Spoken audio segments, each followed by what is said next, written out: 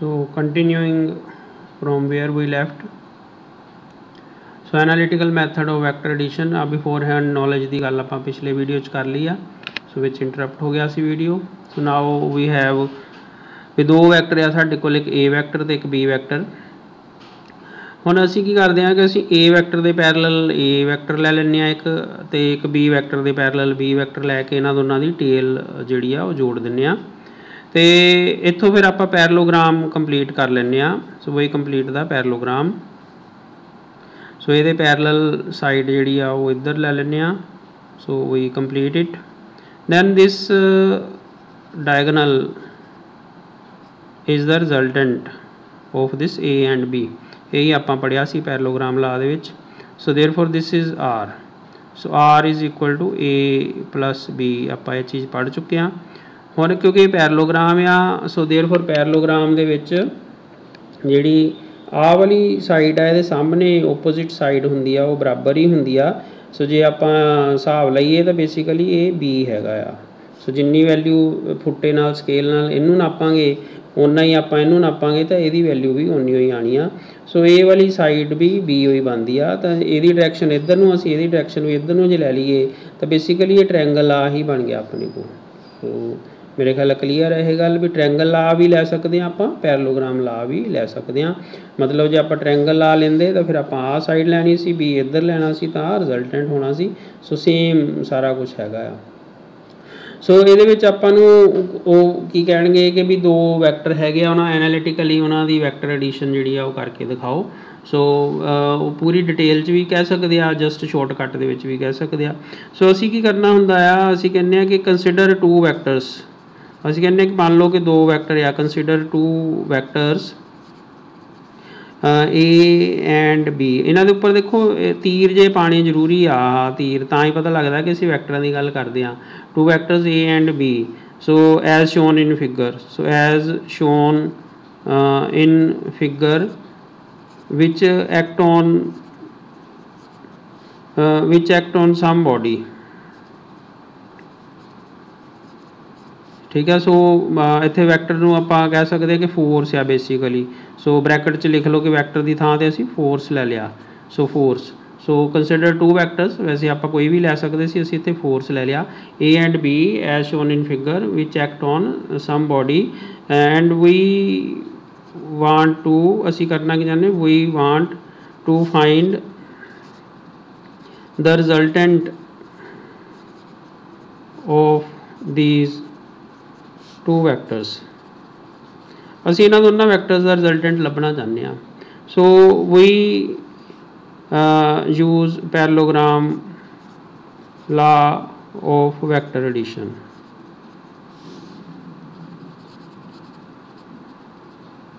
so ਅਸੀਂ so ਹੁਣ ਅਸੀਂ ਜਦੋਂ ਇਹਨਾਂ ਨੂੰ ਇਹ ਪੈਰਲੋਗ੍ਰਾਮ ਲਾ ਦੇ ਵਿੱਚ ਫਿੱਟ ਕਰ ਲਿਆ ਤਾਂ ਅਸੀਂ ਮੰਨ ਲੈਂਦੇ ਹਾਂ ਕਿ A ਤਾਂ B ਦੇ ਵਿੱਚ ਐਂਗਲ ਜਿਹੜਾ ਹੈਗਾ, A ਐਂਡ B ਦੇ ਆਰ ਐਟ ਐਨ ਐਂਗਲ ਮਤਲਬ ਜੇ ਮੈਂ ਇਹਨੂੰ ਕੰਸੀਡਰ ਕਰਾਂ ਵੀ ਇਹਨੂੰ ਮੈਂ ਪਿੱਛੇ ਨੂੰ ਲੈ ਕੇ ਜਾਵਾਂ ਇੱਧਰ ਨੂੰ, ਤਾਂ ਇਹਦੇ ਵਿੱਚ ਆ ਜਿਹੜਾ ਐਂਗਲ ਬਣਦਾ ਪਿਆ, ਇਹ ਥੀਟਾ ਬਣਦਾ ਪਿਆ ਮੰਨ ਲਓ। So the angle between A and B is theta so ਮਤਲਬ ਇਹਨੂੰ ਜੇ ਮੈਂ ਇੱਥੇ ਬਣਾਉਂਗਾ ਤਾਂ ਇਹ ਐਂਗਲ ਥੀਟਾ ਹੈਗਾ। So let angle between let angle between ਆ ਸ਼ਾਰਟਕਟ ਐਂਗਲ ਲਿਖਣ ਦਾ ਐਂਗਲ ਦਾ ਨਿਸ਼ਾਨ। ਐਂਗਲ ਬਿਟਵੀਨ a ਐਂਡ ਹੁਣ ਵੈਕਟਰ a, ਮਤਲਬ ਆਪਾਂ ਵੈਕਟਰ ਲਿਖਣ ਦੀ ਲੋੜ ਨਹੀਂ, ਸਿੱਧਾ ਹੀ a ਦੇ ਉੱਪਰ ਤੀਰ ਪਾ means vector a let angle between vector a and vector b b theta ਵੀ ਉਹ ਜਿਹੜਾ ਐਂਗਲ ਆ, ਉਹ ਥੀਟਾ ਆ। ਠੀਕ ਆ?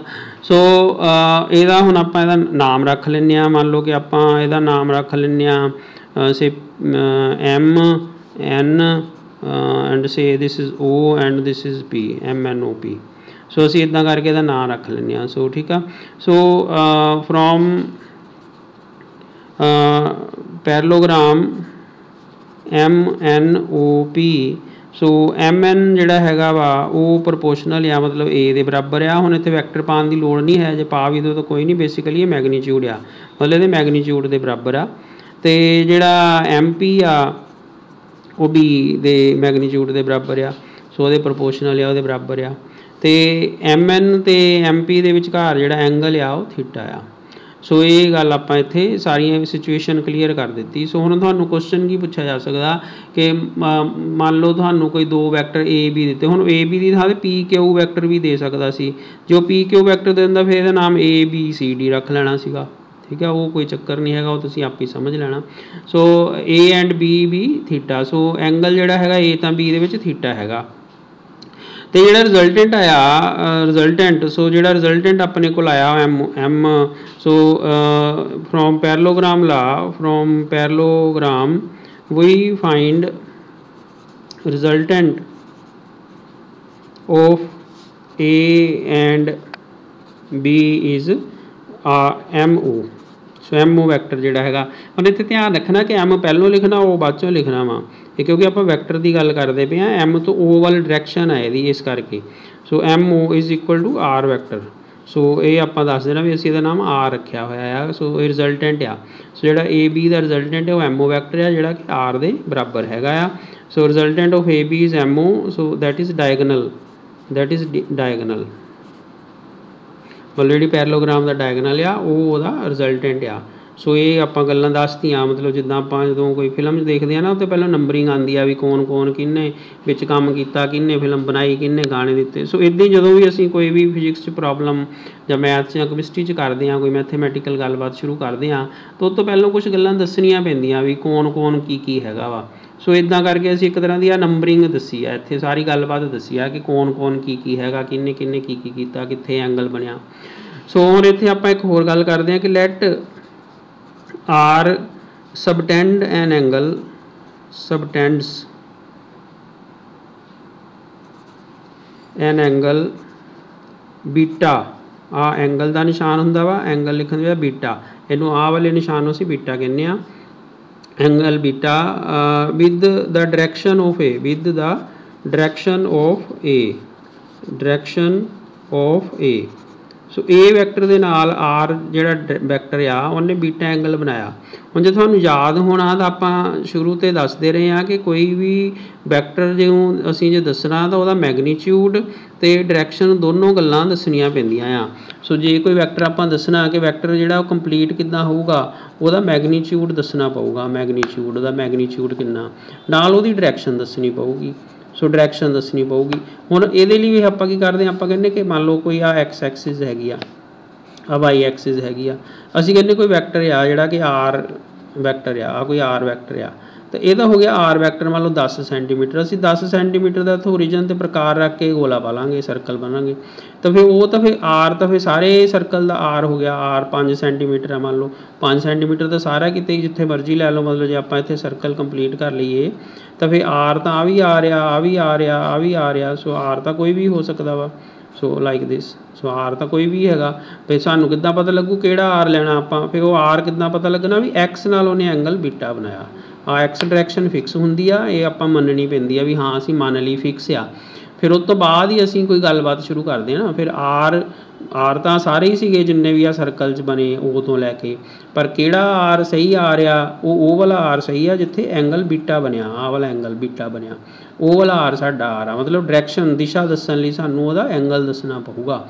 ਫਿਰ ਆਪਣੇ ਕੋਲ ਉਹ ਜਿਹੜਾ ਵੈਕਟਰ ਆ, ਉਹ ਫਾਈਨਲ ਹੁੰਦਾ ਵਾ। ਸੋ ਇਸ ਕਰਕੇ ਅਸੀਂ ਇੱਥੇ ਵੀ ਕਿਹਾ ਕਿ ਆਰ ਜਿਹੜਾ ਹੈਗਾ ਉਹ ਸਬਟੈਂਡ ਮੈਨੇ ਮੇਕ ਆਪਾਂ ਮੇਕ ਵੀ ਲਿਖ ਸਕਦੇ ਹਾਂ।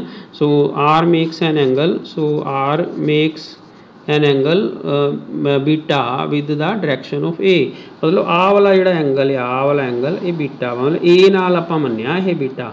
ਇਹਦਾ ਮਤਲਬ ਆਟੋਮੈਟਿਕਲੀ ਜੇ ਆਹ ਥੀਟਾ ਜਿਹੜਾ 60 ਡਿਗਰੀ ਹੋਵੇ, ਬੀਟਾ ਜਿਹੜਾ ਵਾ 30 ਡਿਗਰੀ ਹੋਵੇ ਜਾਂ ਮੰਨ ਲਓ 20 ਡਿਗਰੀ ਹੋਵੇ, ਤਾਂ ਫਿਰ ਇਹ ਵਾਲਾ ਐਂਗਲ ਜੇ ਜੇ ਲੋਡ ਪਈ ਤਾਂ ਆਪਾਂ 60 ਚੋਂ 20 ਘਟਾ ਕੇ 40 ਡਿਗਰੀ ਸਾਨੂੰ ਪਤਾ ਲੱਗ ਜਾਊਗਾ ਪਰ ਆਪਾਂ A ਦੇ ਨਾਲ ਬਣਾਇਆ ਉਹਨੂੰ B ਨਾਲ ਨਹੀਂ ਬਣਾਇਆ ਸੋ ਉਹ ਸਾਡੀ ਮਰਜ਼ੀ ਸੀ। ਸੋ ਅਸੀਂ A ਦੇ ਨਾਲ ਉਹਦਾ ਬੀਟਾ ਲੈ ਲਿਆ। ਦਿਸ਼ਾ ਦੱਸਣ ਲਈ ਮਤਲਬ A ਡਾਇਰੈਕਸ਼ਨ ਨੂੰ ਅਸੀਂ x ਐਕਸਿਸ ਟਾਈਪ ਮੰਨ ਲਿਆ ਵੀ x ਐਕਸਿਸ ਤੇ ਅਸੀਂ A ਲਿਆ ਹੋਇਆ ਆ।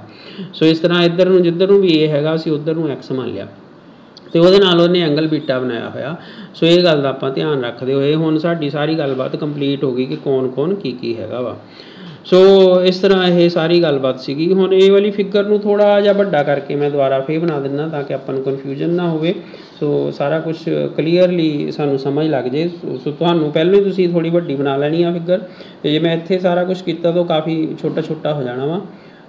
ਸੋ ਇਟਸ ਬੈਟਰ ਕਿ ਮੈਂ ਇਹਨੂੰ ਦੁਬਾਰਾ ਬਣਾਦਾ ਤਾਂ ਕਿ ਤੁਹਾਨੂੰ ਕਲੀਅਰਲੀ ਦਿਖ ਜਾਵੇ।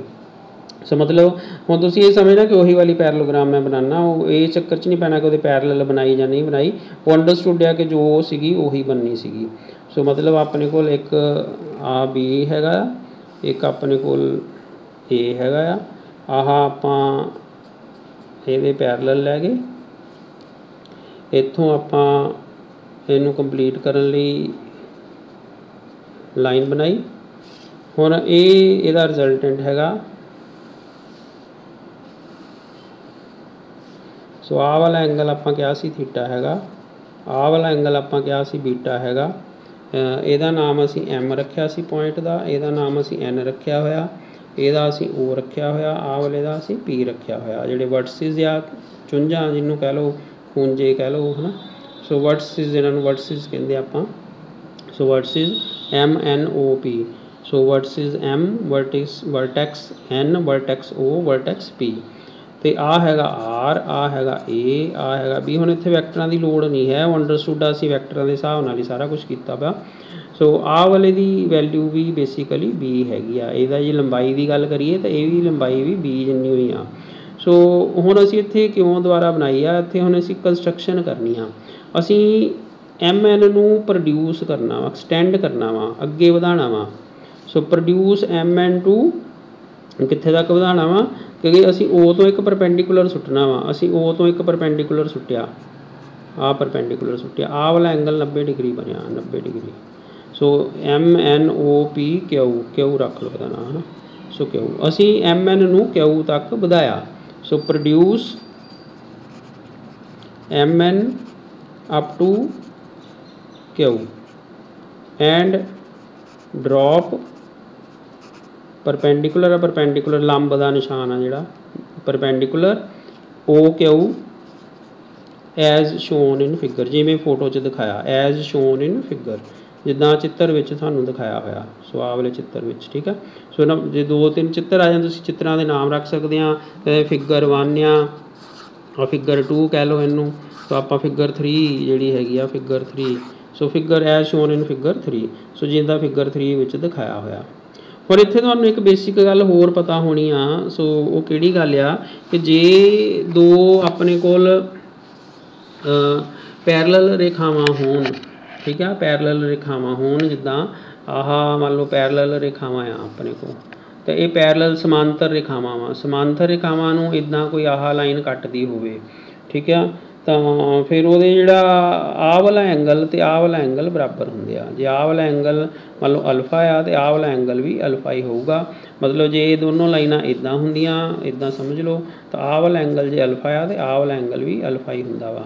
ਠੀਕ ਆ? ਸੋ ਕੋਰਸਪੋਂਡਿੰਗ ਐਂਗਲਸ ਇਹਨਾਂ ਨੂੰ ਆਪਾਂ ਕਹਿੰਦੇ ਆ। ਸੋ ਇਹ ਵਾਲਾ ਐਂਗਲ ਅਲਫਾ ਤੇ ਇਹ ਵੀ ਅਲਫਾ ਆ।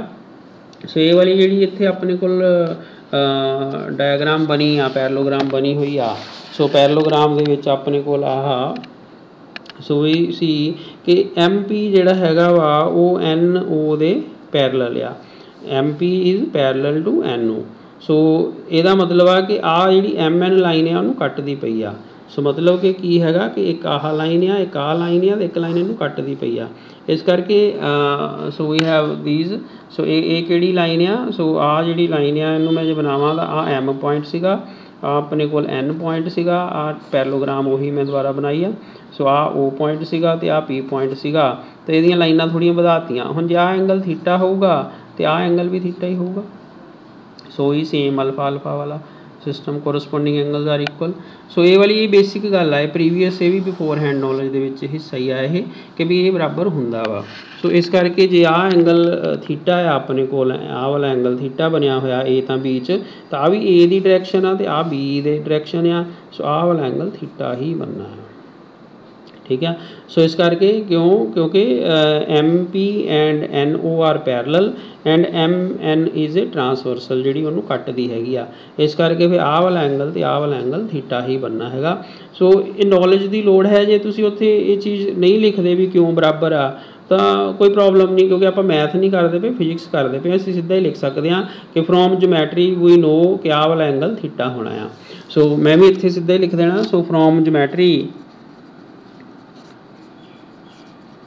we know ਕਿ ਜਿਹੜਾ ਪੀ ਐਮ ਐਨ ਐਂਗਲ ਆ, ਉਹ ਥੀਟਾ ਆ is equal to O N Q O N Q so O N Q ਦੇ ਬਰਾਬਰ ਆ।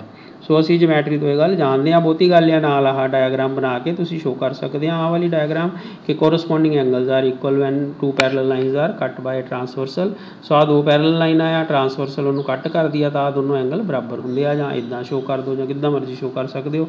ਨਹੀਂ ਵੀ ਕਰਦੇ ਇਟਸ ਓਕੇ ਕਿਉਂਕਿ ਫਿਜ਼ਿਕਸ ਆ ਮੈਥ ਨਹੀਂ ਹੈਗਾ। ਅਸੀਂ ਮੈਥ ਦੇ ਵਿੱਚੋਂ ਕੋਈ ਚੀਜ਼ ਜਿਹੜੀ ਆ ਉਹ ਚੁੱਕ ਲਈ ਬਸ, ਠੀਕ ਆ? From geometry we know this thing so ਇਦਾਂ ਕਰਕੇ ਆਪਣੇ ਕੋਲ ਆ ਗਿਆ। ਸੋ ਆਪਾਂ ਸਿੱਧਾ ਹੀ ਇਹਨੂੰ ਐਂਗਲ ਨੂੰ ਲਿਖ ਦਿੱਤਾ ਕਿ ਬਰਾਬਰ ਆ ਗਿਆ। ਹੁਣ ਇਹਦੇ ਵਿੱਚ ਆਪਣੇ ਕੋਲ 90 ਡਿਗਰੀ ਐਂਗਲ ਇੱਥੇ ਬਣਿਆ ਦੇਖੋ, ਉਹ ਕਿਉ ਤੇ? ਆਹ ਵਾਲੀ ਜਗ੍ਹਾ ਤੇ। ਇਹਦਾ ਮਤਲਬ ਆਪਣੇ ਕੋਲ ਰਾਈਟ ਐਂਗਲ ਟ੍ਰਾਇੰਗਲ ਜਿਹੜੀ ਬਣੀ, so right angle triangle so we have a right angle triangle so ਇਹਦੇ ਬਾਅਦ, ਇਸ ਤੋਂ ਬਾਅਦ ਬਾਅਦ ਵਿੱਚ ਗੱਲ ਕਰਦੇ ਹਾਂ।